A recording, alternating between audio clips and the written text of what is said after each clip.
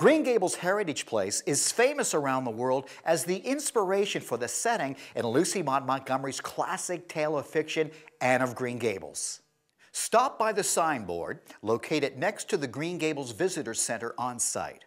Write down one of the quotes from the book that is posted on the signboard.